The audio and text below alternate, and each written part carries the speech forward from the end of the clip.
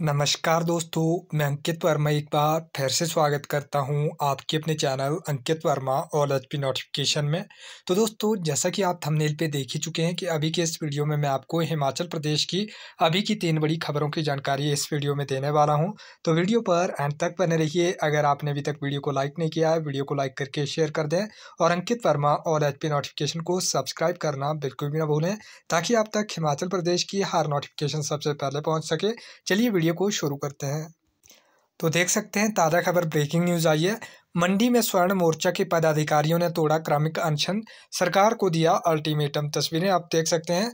District मंडी से news है कि देवभूमि क्षेत्रीय संगठन एवं देवभूमि स्वर्ण मोर्चा के प्रदेश अध्यक्ष रोमित ठाकुर व अन्य नेताओं की गिरफ़्तार के विरोध में जो है क्रमिक अनशन पर बैठे पदाधिकारियों ने छठे दिन जो है क्रमिक अनशन तोड़ दिया।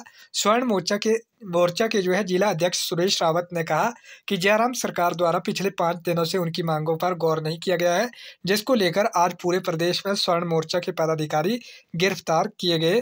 स्वर्ण मोर्चा के जो है नेताओं की रिहाई की मांग को लेकर प्रशासन के माध्यम से जो है राज्यपाल को ज्ञापन प्रेषित कर रहे हैं।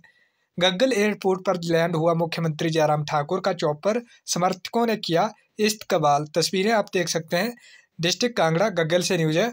मुख्यमंत्री जयराम ठाकुर बुधवार सुबह जो है, साढ़े दस बजे चौपर के माध्यम से गग्गल एयरपोर्ट पर लैंड हुए।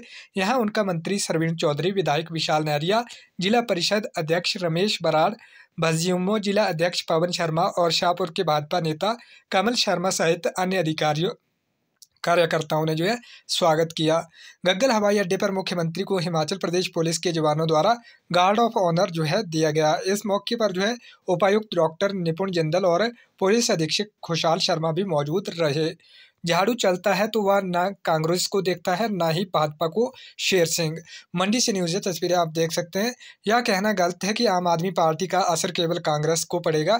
जब झाड़ू चलता है तो वह न कांग्रेस को देखता है, न भाजपा पूरी सफ़ाई कर देता है। यह बात मंगलवार को जो है, मंडी में प्रेस वार्ता को संबोधित करते हुए आपके प्रदेश प्रवक्ता शेर सिंह ठाकुर ने कही।